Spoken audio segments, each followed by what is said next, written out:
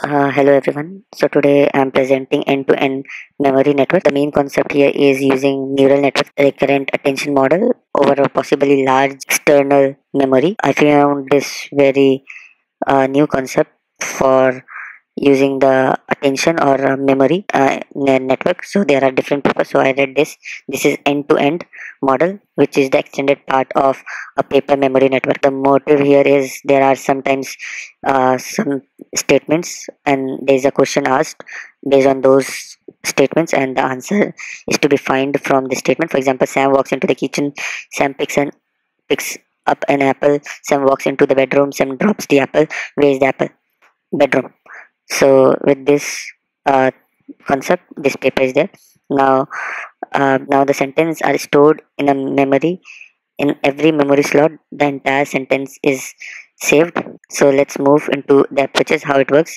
So now there's a discrete inputs uh, x1 to xm now x1 is a sentence xm is a sentence. So every word will be x11 x22 like sam is x11 walks x12 so like this there is a input and then there is a query which is the question. In the result we have output uh, which is an answer. Now uh, we use all those words from a dictionary. V words motive is to store all those uh, x into the memory which is of fixed buffer size. We are first talking about the single layer where uh, the input xi of vector e uh, is to be converted to memory vector mi of size d in the continuous space using a embedding matrix a of dimension e cross d. These sentences with multiplying with embedding a memory uh, in mi now a query q is again multiplied with a matrix b which is an embedding b which has a similar dimension like a to obtain an internal state u of size d so same like here this met question q is multiplied with matrix b or embedding b to get an internal u. Uh, we compute the matching between uh, u and m by taking a inner product followed by softmax.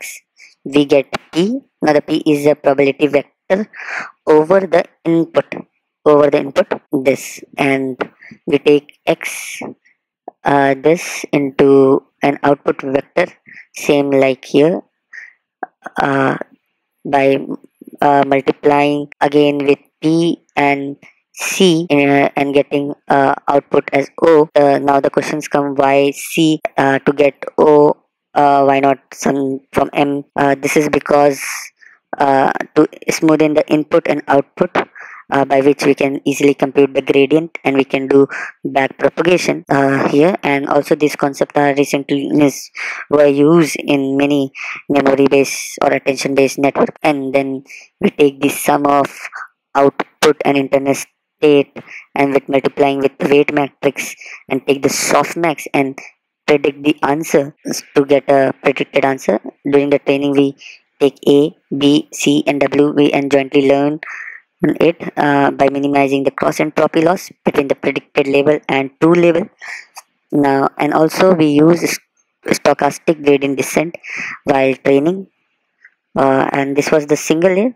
We repeat this with uh, we have multiple layer of this as learning. So we have multiple layer which is the main concept of the paper uh, with large external multiple memory and so it has the same concept just the input of the next and the input state of the uh, next layer would be the sum of the previous query vectors and uh, output vectors. And at each layer has its own uh, ak and ck a1 C- c1 so we have some constraint uh, to make it easily uh, to do easily train it and reduce the number of parameters. The last uh, hoop no, hope is a recurrent part. So is the one which is uh, used uh, to predict the answer. Uh, so we use two types of uh, weight tying within the model. One is adjacent where AK plus 1 is equal to CK, uh, A2 is equal to C1 and A3 equals to C2 and the weight is equals to the final matrix uh, like uh, W is equal to C3 and B equals to A1 uh, so B equals to A1 and similarly for the layer wise all uh, output and input embeddings are same across the layer. A1 equals to a2 equals to ak and c1 equals to this. And uh, we also have a linear mapping h to update u between hoops. So uk plus 1 equals to h uk plus ok now h a b c and w all are learned together. And moreover layer wise is same like uh, rnn when all those are equal then it's, it's same like rn uh, now it is also used in a language model and which was the main reason to read this paper. Now in the language model we in place of uh, the sentence we use words to store in the memory slot like we hold. And uh, there is no query so we use 0.1 uh, constant vector and without any embedding.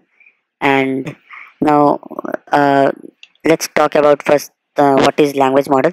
So the main goal of a language model is to predict the next word in a text sequence given the previous word x. So we have uh, we store n minus 1 word previous we stored n words previous which includes the current word and tried to uh, predict the next word uh, from uh, try to predict the next word.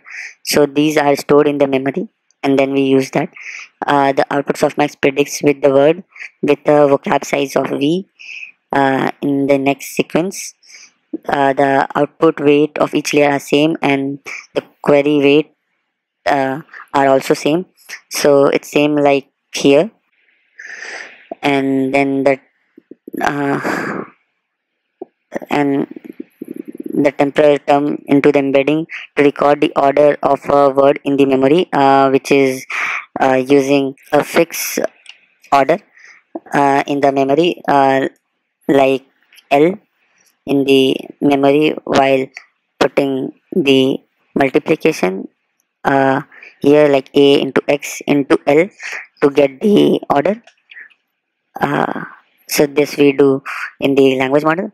Unfortunately this doesn't give a good result in language model than compared to question answer generation. But with few modification i think this may gives a better result compared to rnn and lstm thank you